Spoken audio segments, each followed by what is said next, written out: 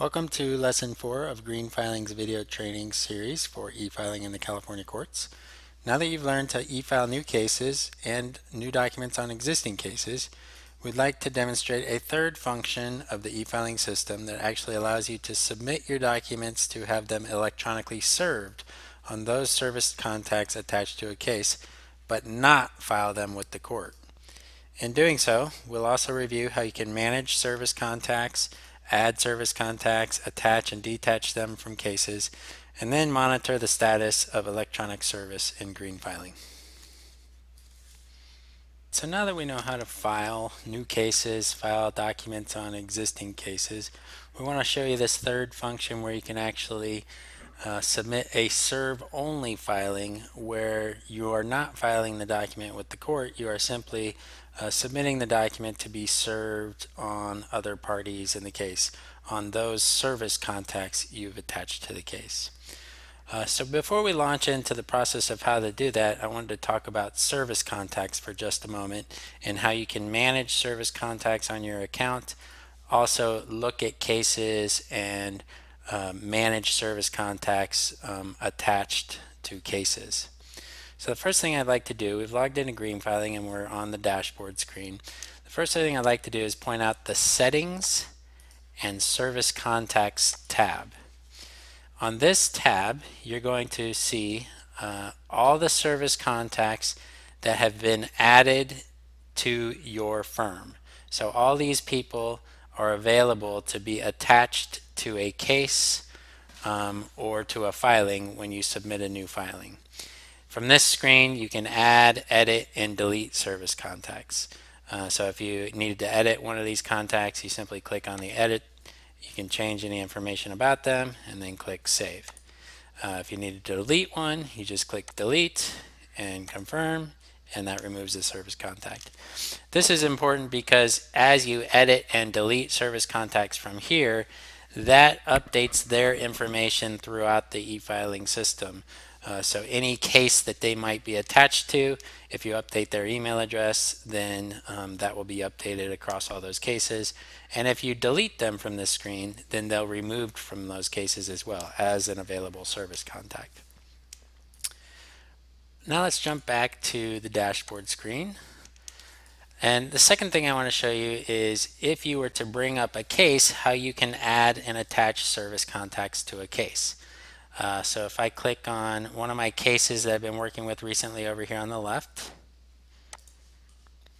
and this will take just one moment to load. We're going to get the latest information from the court. And what you see on this screen when it will load is we have the basic case information, we'll have the parties on the case, and then you'll see a section of the screen for service contacts. In that section, we will see which service contacts are already attached to this case, and then we have the opportunity to add service contacts or remove service contacts from this case.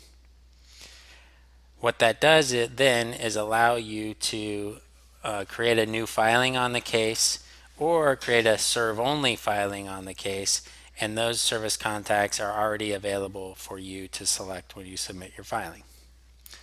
So now that this case is loaded, uh, we can see here uh, we have the basic case information, party information. Here in the middle of the screen we have the service contacts. So these three service contacts are attached to this case. From here I could remove a service contact by checking the box and clicking detach and then confirm. That removes them from this case. Or I could add a service contact. So here are the service contacts in my firm. I can add one and attach it to this case. Now you get the option to detach service contacts from a case only if they are service contacts that you have added to the system. This service contact here is one that has been added by some other party or some other filer in the case. So I don't get the option to detach that person from the case, only that person would.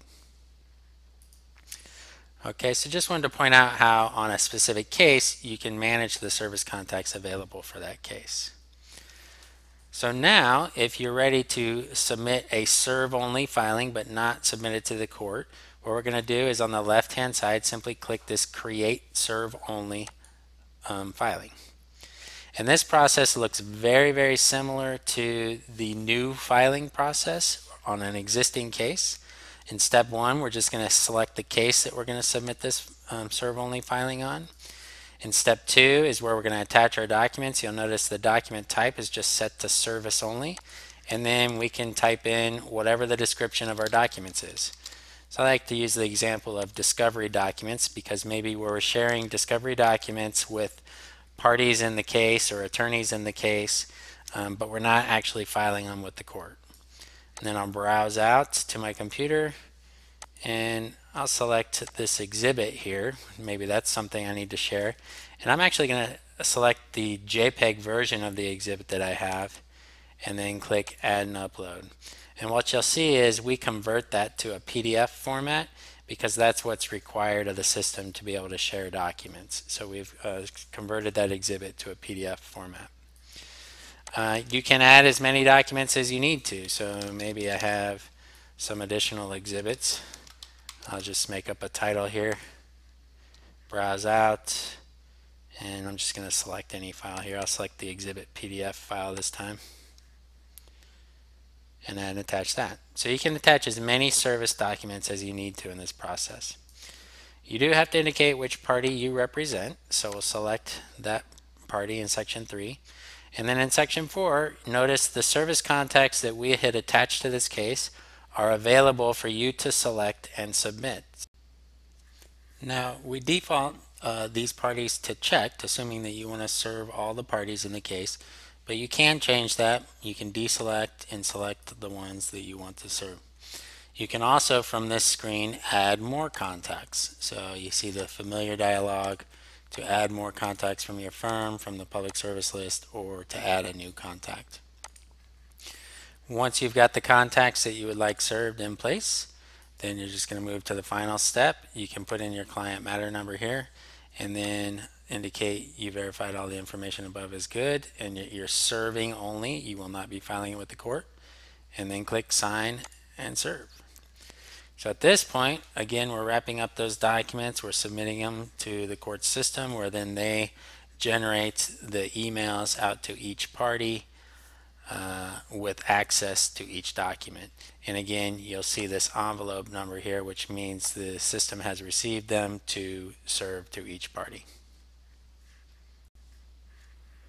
So when we submitted this filing, I did select myself as a service contact, which means that I should get an email notification, an electronic service notification, any second here, which provides me a link to access these documents that you've just submitted.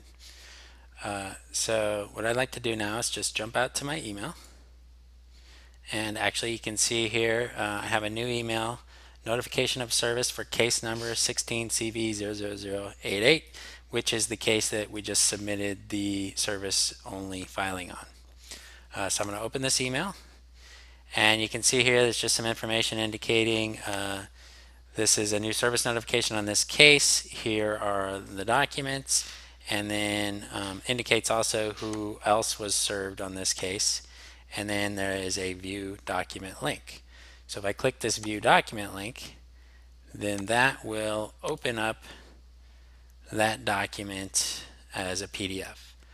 Uh, and you can see in this case, uh, I had uploaded an exhibit uh, image, uh, JPEG image that was converted to PDF. So this is just a sample image that I submitted on this filing.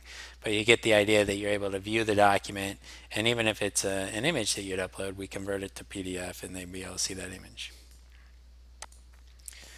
So that's really nice because um, once somebody has opened the filing, if we come back into uh, green filing, we can actually open up uh, the filing and track uh, the status of who's received and who has opened the documents that they've been served. So if I click on the filing ID to open up this serve only filing, and then I scroll down here to the service contacts section, we can see that for each uh, person the each document is listed. And then there's an indication of was it sent? Yes or no in this case it was. And then for this last person here we see that this the discovery documents were opened on this date and time so this is a way for you to at any time come back open your serve only filing and find out whether or not those that you sent the filing uh, are actually uh, have actually opened it or not. You can also click on this sent link or the open link and what you get is an SMTP uh, server log which is the email server and the log and it's basically just proof that the system did uh, send the email about that filing or that service only filing. So that's a create uh, serve only filing uh, where you can uh, send electronic notification of a document to all the parties on the case but not file it with the court.